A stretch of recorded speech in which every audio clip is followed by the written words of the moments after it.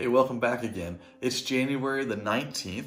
Uh, we're continuing our journey through the book of Genesis, through Psalms, through the Gospel of Mark. Today we're reading Genesis 32, 33, and 34. That's three chapters. And we're reading Psalm 145 and Mark 13. That's five chapters today. Seems like a lot, but there, uh, I think you'll find the time is about the same amount of time to read. Uh, we're going to jump in and continue on. It's been a lot of fun for me so far as I've been talking through the book of Genesis with you.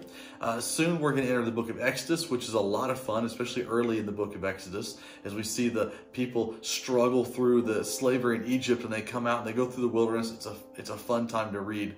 Uh, before long, we're going to get into um, Leviticus, Numbers, Deuteronomy, some of these things that are a little less fun, but I think we're going to be able to full, pull some neat concepts out to talk about what the kingdom of God looks like and what God's purpose is for us in life. Uh, so I'm looking forward to it actually. I Hope you'll continue on every day with me journeying here. In Genesis 32, 33, and 34, we see Jacob make a return. He's going to return to his brother. He's going to go back home, be reconciled to Esau with his family and, and servants, the things he's amassed now.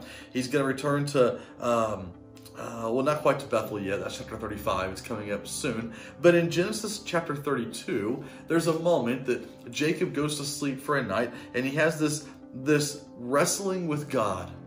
He wrestles with God, and in the middle of the night, he struggles with God, and God uh, sends this. Um, sorry, this. Uh, I totally blanked out here. Uh, this this angel touches God uh, Jacob in the the hip socket and wrenches his hip out of place. And in the middle of this com, uh, conflict, this struggle right here, Jacob is asked what his name is. And he says, "My name's Jacob."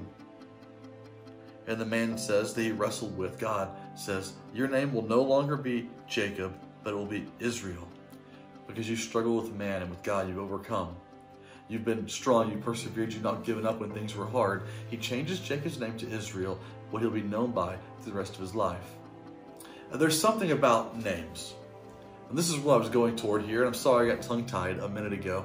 Um, just so you know, when we do these videos here, I'm just kind of reading the word and talking to you about what it says. There's not a lot of prep and planning right here. Um, I want you to know there's nothing special about this. You can do these same things.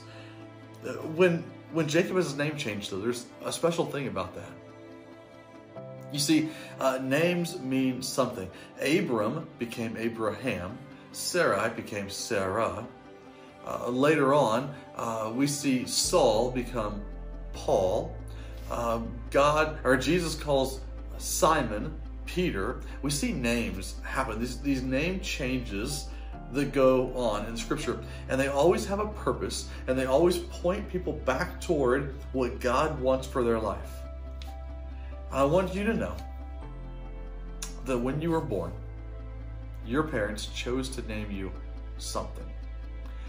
Some of us, our, our names might mean a lot. Your parents might have put a lot of thought. There's a trend, especially in recent times, of Christian parents putting all this thought into naming their children these names that have a meaning. Uh, some of us though didn't have that. We just got a we got a family name. It's been passed down through the generations, or we got a name that sounded it rolled off the tongue nicely and worked well. We all get named in different ways. But when we follow Jesus, when we follow Jesus, He gives us a new identity. Now, I'm not saying that uh, that I started following Jesus, and when I started following Jesus, I stopped being that name and started being Adam. That didn't happen. I was Adam from the time I was born. But when you follow Jesus, He gives you a new identity. Your old identity is broken. Your old identity is mired in sin.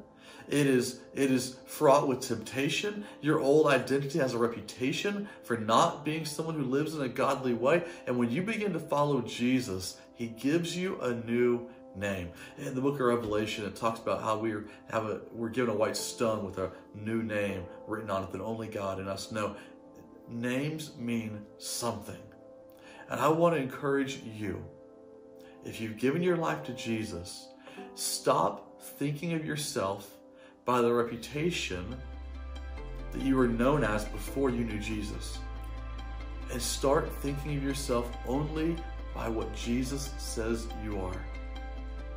You're a daughter, you're a son, you're an heir to his kingdom, you're a prince, a princess, you're an ambassador, you're an emissary, you're a servant, you're a leader, you're a preacher, you're a follower, a disciple.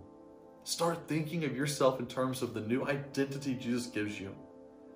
Because when you can embrace what God knows you as, then you can begin to live like that reputation demands. Stop falling back into Satan's lies and live in God's truth and his promise. Just like Jacob becomes Israel, you became the son, the daughter of the king. Join me tomorrow. We'll keep reading through the book of Genesis together. It's going to be great. Until I see you then, you are sent.